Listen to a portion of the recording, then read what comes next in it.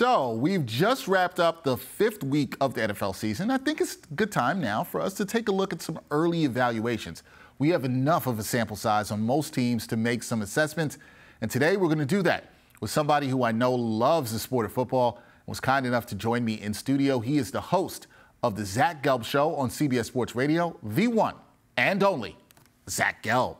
What's going on, man? Dexter, doing great. How are you, my man? Well, good. I'm glad to have you here. We're going to talk some football. You are you're a big football fan. How are you enjoying the NFL season thus far? I wish we had some better games so far through the first five weeks of the season. Uh, the quality of play on the football field has uh, been very low. But as the season goes on, it always finds a way to play itself out, and we end up walking away from the season saying, I lost this bet, or this team's great, this quarterback stinks, and we all have fun with it. Well, that's what we're going to talk about here today like which teams are good, which teams are not. So we got to start off with the New York teams, okay?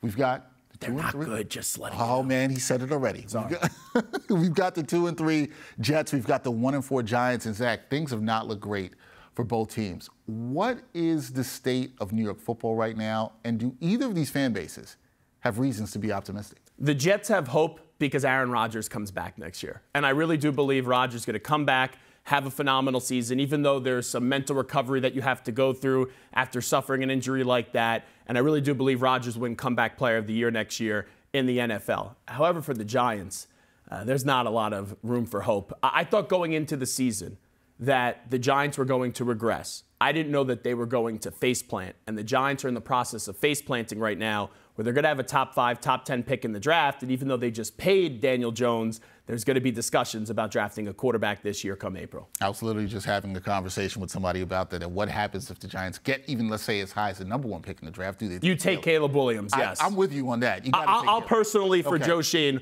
run the card to the podium for him to, to, to select Caleb Williams out of USC. So you take Caleb Williams, you deal with the other stuff later. You do that. Now, for other people, Sunday Night Football, Week Five, we just saw the Niners beat the brakes off of the Dallas Cowboys. They did whatever they wanted in that game, Zach.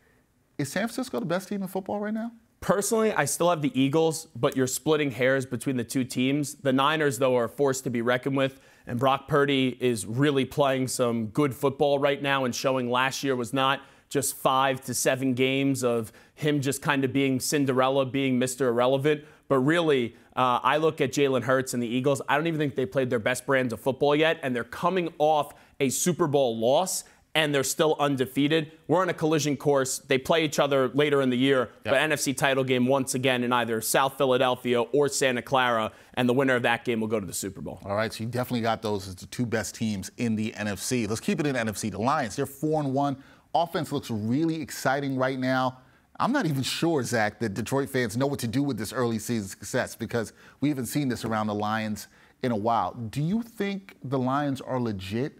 And what do you think they realistically can accomplish this year? The NFC North is already over. So pop the champagne, Lions fans. You've won the division for the first time since 1993 but it's bigger than that. They now need to go win a playoff game, which they have not done, Dexter, since 1991. They're more than capable of doing so. And you look at the NFC, we know Eagles, 49ers, whoever you want, they're the, the two best teams in the NFC. The question becomes who's the third best team in the NFC? It's not the Dallas Cowboys because Dak Prescott's not going to get the job done in a big moment. So I look to teams like Seattle and Detroit who already played this year, and Seattle got a victory. One of those two teams at the end of the year I will say, it come playoff time, will be the third best team in the NFC. Seattle and Detroit over the Cowboys. You know, you just hurt the feelings of my producer Brian. He's big Cowboys fan. Well, Brian, I'm just He's here to be realistic. He's not happy about this. This team, the Dallas Cowboys, are just a good team. They're not a great team. And here's my problem.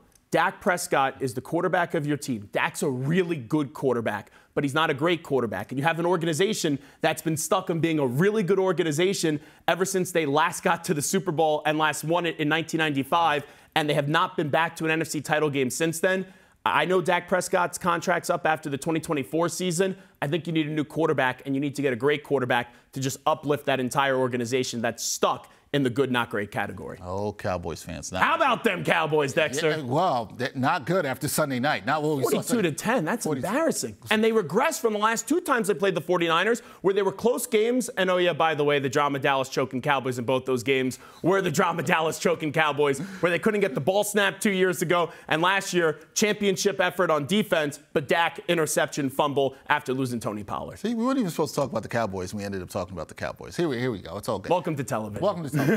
Eagles, like the Niners, you just mentioned, also undefeated. Um, they've had a couple of games that you mentioned. They haven't played that great. They could have lost, but they escaped with wins. They're the defending NFC championship champions, excuse me. Do you put them in the same class as the Niners? You said you got them a little bit over.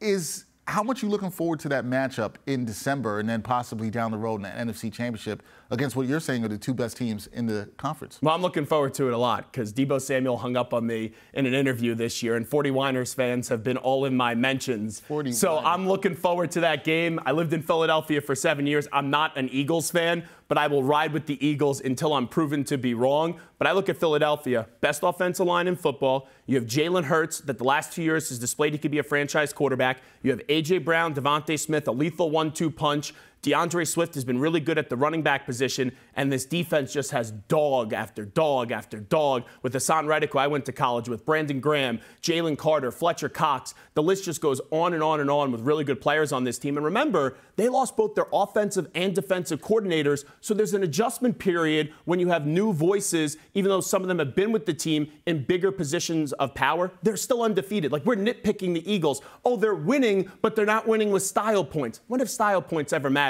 In the National Football League. They have it. It's about getting those dubs, and they've been doing that, and that's all that matters. I want to go to the AFC. Got to talk about the Dolphins, right?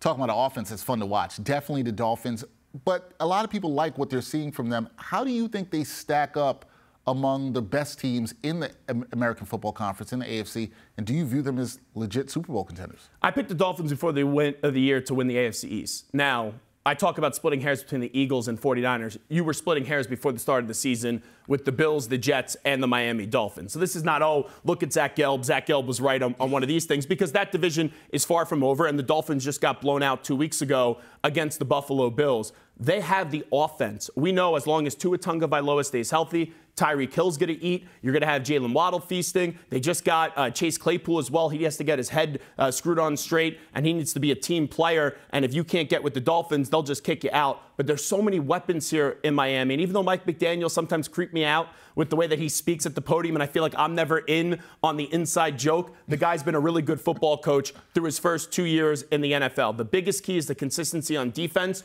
Jaelan Phillips has been injured for this team. They need him back, and they need him to produce because he's one of the more underrated defensive players in football. Yeah, how they are defensively, I think, is going to matter for a lot for them in terms of watching them go down the stretch. But they're definitely a force to be reckoned with in the AFC North. Got the Ravens, Steelers. They're tied atop the AFC North right now. Joe Burrow looks like he's starting to get a bit healthy and find his groove in Cincy. Who's the best team in the AFC North right now? this is the toughest question, I think, in, in, in, I, I got, football I right you now. with a good one. Because yeah. your Steelers are three and two, and they just won a game that they had no business in winning.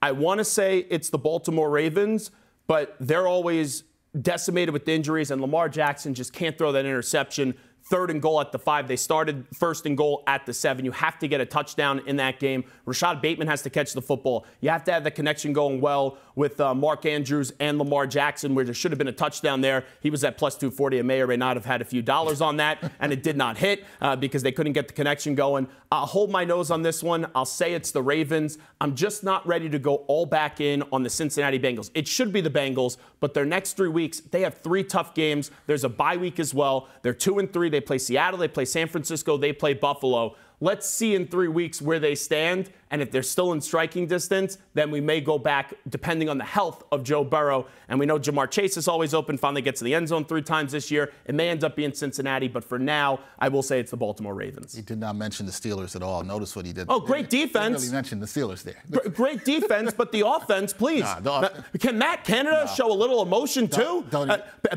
Pickett finally hits Pickens, and he's sitting there um, in, in the offensive coordinator box, and he's just stoic. He he's just like sitting there with no reaction. Bothered. He looked like he couldn't be bothered to be there. Yeah, we're not even going to get into that. There's, there's a lot I can get into there.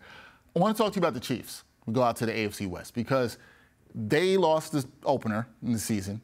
start the season. They lost, and the people were saying, "Oh, what's going on with the Chiefs?" But they've been fine. They've won four in a row now.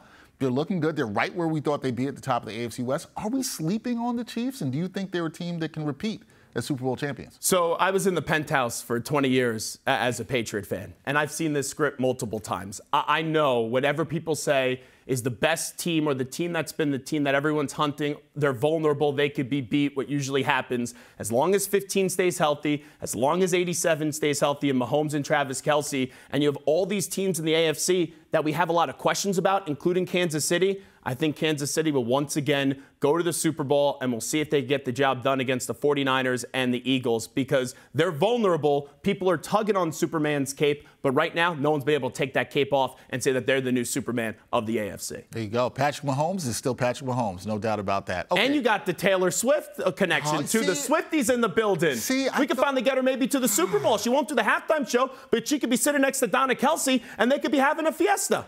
I thought that you, I was about to give you a lot of credit, Zach. I thought you were going to be able to talk about the Chiefs and not mention Swift or the Swifties. I thought you could do it. Um, I'm, I'm in the media, Dexter. You know that, right? I know. It's it's death taxes and talking about Taylor Swift these days. Yeah, apparently these days. Yeah, I see that. I see that for sure. I see that for sure. And Travis Kelce looking like he's feeling a little well, 22. The mention there is going to make my other producer, Emma Kate. She'll be happy about that. Yeah. She's a Swiftie. She'll be happy. Can we get some tickets, by the way, too, for the next concert? We, we need we need that. We definitely. You and I had a Taylor Swift concert. It would be very interesting. It would be. It would be interesting.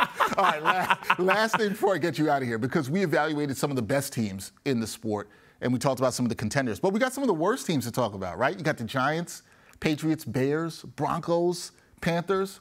Who's likely to be the winner of the Caleb Williams sweepstakes come the spring? Who do you think is the worst team in football right now? Well, the answer to that question, it's the Chicago Bears. But yes. it doesn't mean the Chicago Bears are the worst team in football because it's the Carolina Panthers. And the Panthers traded away uh, that number one pick to go get Bryce Young, and they're going to be the worst team in football. Their offensive line stinks. They have no weapons for Bryce Young. They have Miles Sanders, one of the most overrated running backs in the NFL. And that defense is solid, but as we see here in New York, when you have a solid defense, and they're not the Jets defensively, it can only go so far when you don't have enough on the offensive side of the ball. So the Panthers are going to be the worst team in the league, and David Tepper is a joke as an owner. That's a topic for another day and they're not even going to get the number one overall pick because it's going to go to Chicago. Well, they'll draft Caleb Williams, and then someone will get to uh, try to fix Justin Fields, who I do think is better than the way that he's been playing so far in the NFL. I agree with you on that. Interesting. Bears do control the draft in that standpoint,